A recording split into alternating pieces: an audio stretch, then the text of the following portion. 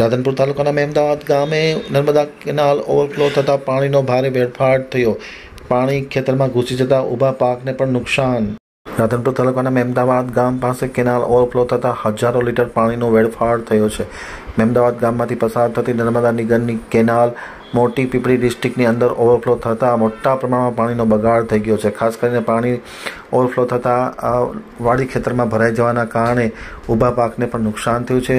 રેલવેની લાઇનની સાઈડમાં પાણી ભરાયું હતું. રેલવેની લાઇનને પણ નુકસાન થયું હોવાનું જાણવા મળ્યું છે. રાધનપુર નર્મદા નિગમની બેદરકારીના કારણે આ પાણીનો બગાડ થઈ રહ્યો હોવાનું સપાટી પર આવ્યું છે.